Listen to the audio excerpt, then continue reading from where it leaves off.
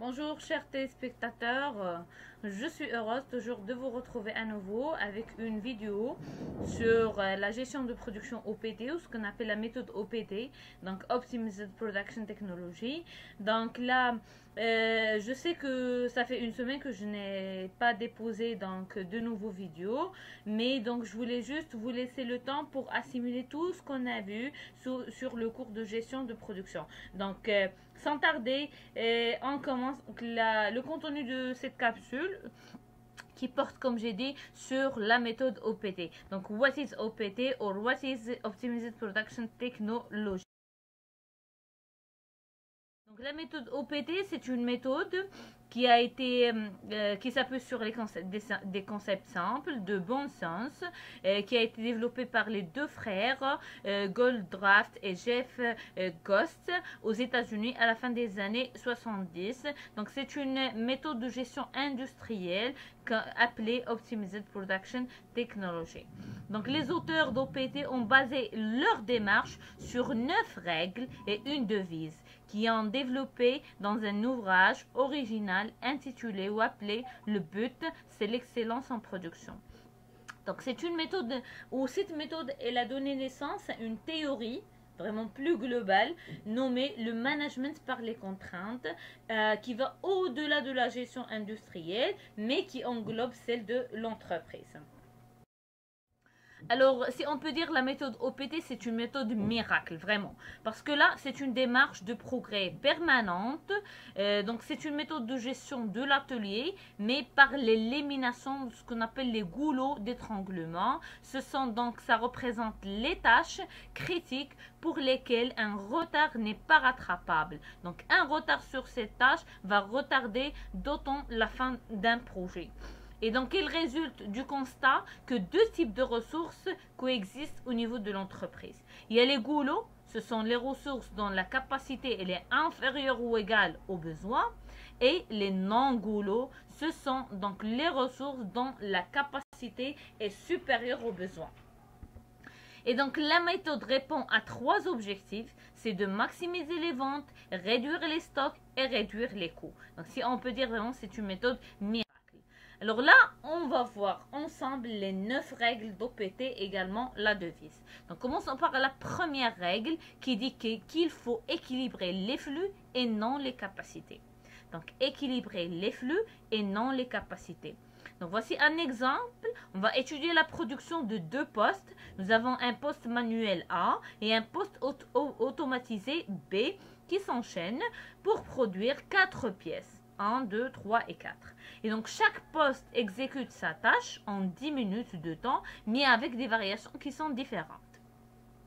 Donc le poste A il a une capacité de 10, également le poste B, mais ce sont deux postes différents, un poste qui est manuel et un poste automatisé. Mais donc là, il y a le donc là la règle dit qu'il faut équilibrer les flux et non les capacités parce que là on a les mêmes capacités mais l'exécution de chaque poste il est variable dans le temps donc si on va établir le planning de fabrication de chaque poste nous allons déclarer qu'il existe au niveau par exemple de la pièce 4 au niveau du poste A, il n'y a pas d'écart, c'est-à-dire là, les prévisions ont été les mêmes réalisées, mais au niveau du poste B, il y a un écart de 4. Donc là, il y a vraiment une, un écart entre ce qui a été réalisé et ce qui a été prévu. Et donc, les retards dus à ces aléas, à ces problèmes, vont se répercuter sur toute la chaîne de production aval. Et d'autres aléas survivent et viennent augmenter ces retards-là. Donc, il faut donc euh, illusoire de parler de chaîne équilibrée en capacité. Donc là, il faut chercher à équilibrer les flux et non les capacités.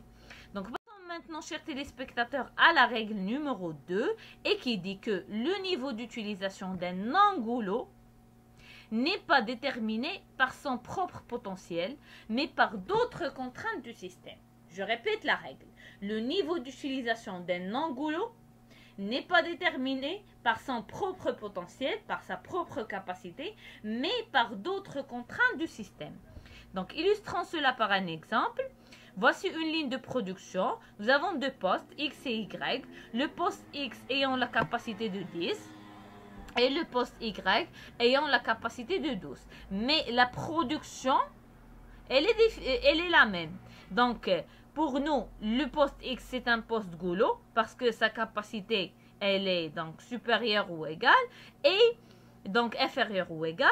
Et le poste Y, c'est un poste non goulot. Pourquoi? Parce que sa capacité, elle est supérieure ou égale à la production.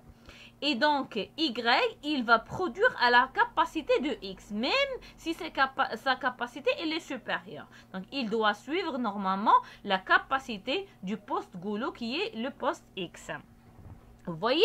Et donc là, son potentiel, il n'est pas déterminé par sa propre capacité, mais par les autres contraintes du système. Alors, voyons maintenant la règle 3, qu'est-ce qu'elle dit?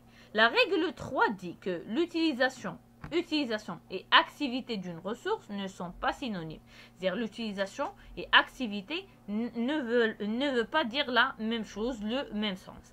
Voyons voir, qu'est-ce qu'une activité? Une activité, c'est de faire ce qu'il y a à faire, ce qui est vraiment nécessaire. Et l'utilisation, c'est utiliser la machine, même si, même si cela, il ne correspond pas vraiment à son besoin précis. Vous voyez? Donc l'activité, c'est de faire le nécessaire, faire ce qui a été à faire. Et l'utilisation, c'est utiliser la machine, même si on n'a pas vraiment besoin de cette machine-là. Et dans le principe juste à temps, il est préférable de ne pas travailler s'il n'y a pas d'activité. Et donc, pas de création de surproduction. Et dans ce cas, on, va illustrer cela par un exemple, soit une ligne de production ayant trois postes, Y1, X et Y2. Donc pour nous, euh, le poste Y1 c'est un poste non goulot, le poste YX c'est un poste goulot et le poste Y2 c'est un poste non goulot.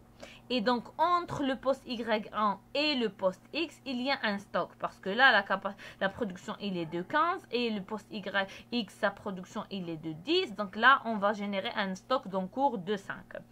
Donc, qu'est-ce qu'on va conclure? Que Y1, il produisent à pleine cadence générant un stock de 5 pièces par heure, ce qui sera jamais absorbé. Et Y2, il produira à la capacité de X. Alors maintenant, voyons voir la règle numéro 4, qu'est-ce qu'elle dit? La règle numéro 4 dit que une heure perdue sur un goulot, c'est une heure perdue sur tout le système. Comment? Alors, c'est la machine goulot qui détermine le débit de sortie des produits de l'entreprise. Et dans ce cas, tout temps perdu sur une telle ressource, c'est-à-dire sur le poste goulot ou la machine goulot réduit le débit de sortie, c'est-à-dire elle réduit le résultat de tout le système industriel. Et donc, par exemple, si nous avons deux postes X et Y, et donc là, on a augmenté le temps de production, donc c'est-à-dire à cause d'un alia, le temps de production a été augmenté. donc cela, ça va se répercuter sur le débit de sortie et donc sur le résultat de tout le système industriel. Alors pour la règle numéro 5, c'est une règle qui dit qu'une heure gagnée sur un angoulot n'est qu'un leurre. C'est-à-dire que lorsqu'on désire réduire normalement les temps improductifs, euh, c'est-à-dire les temps des réglages, les temps des pannes, dans une logique traditionnelle, on agit sur les ressources ayant les temps les plus importants. Mais dans une démarche de type OPT, les gains de temps de production se font systématiquement sur les goulots. Maintenant, voyons voir la règle numéro 6, qu'est-ce qu'elle dit? Alors, la règle numéro 6 dit que les goulots, c'est eux qui déterminent à la fois le débit de sortie et les niveaux de stock. Voyons un exemple. Nous avons une chaîne de production constituée de machines non goulot, partie 1 et 2, et d'une machine goulot. Et dans ce cas, la partie 2 qui se trouve derrière la machine goulot, c'est une, c'est une partie en surcapacité parce qu'elle se trouve derrière la machine goulot et dont la capacité est plus faible, ce qui limite le débit de sortie. Et dans ce cas, si la machine goulot produit trop en avance, cela va générer un stock au niveau de la deuxième partie. Et donc, euh, euh, dans ce cas, on parle de la détermination des temps de fabrication.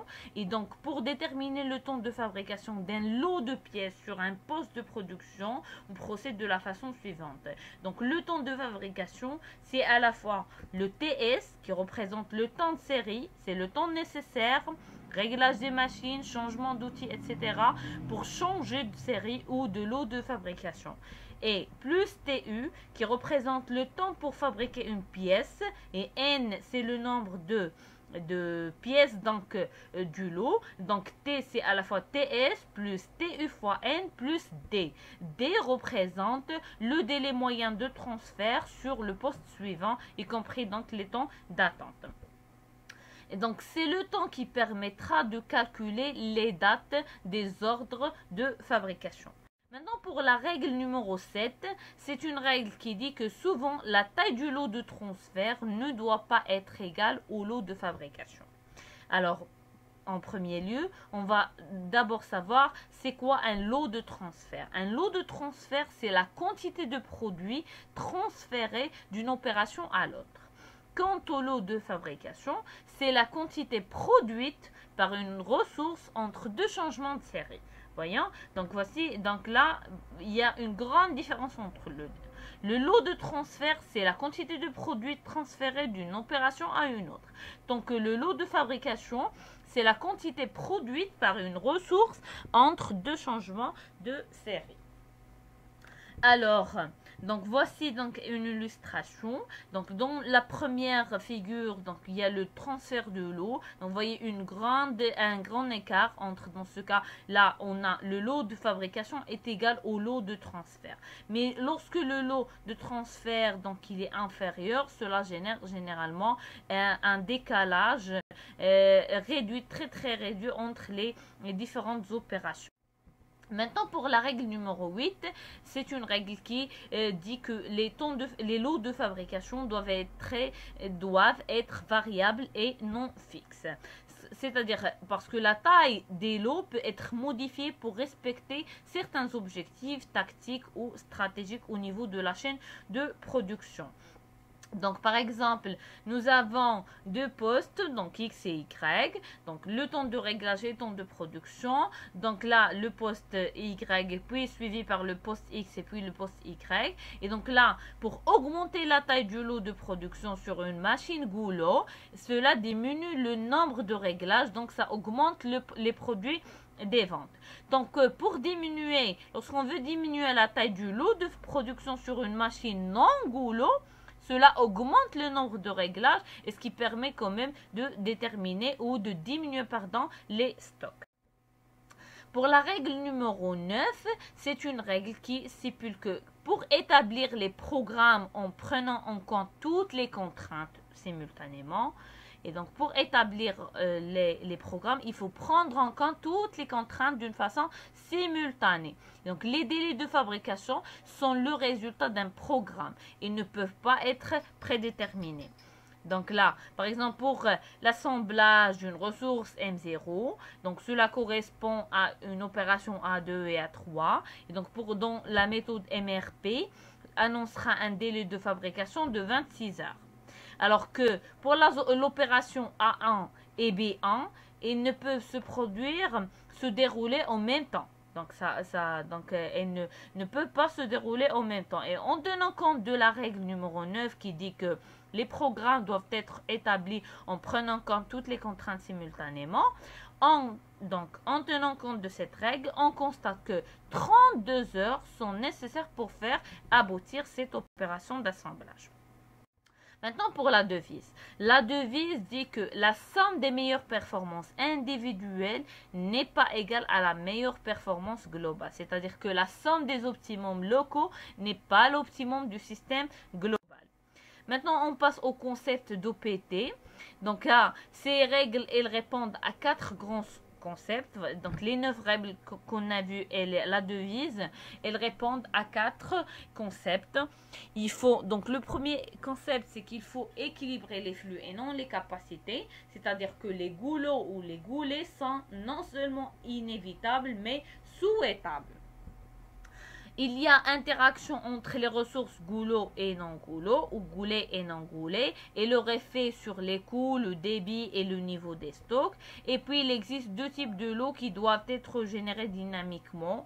L'ordonnancement des tâches doit prendre en compte à la fois les contraintes de, de matière et de capacité pour assurer une bonne synchronisation donc, chers téléspectateurs, j'arrive à la fin de cette vidéo. N'hésitez pas à mettre vos commentaires, vos likes et à vous abonner pour faire agrandir donc la Archive Log TV Family. Je vous remercie pour votre attention et à la prochaine.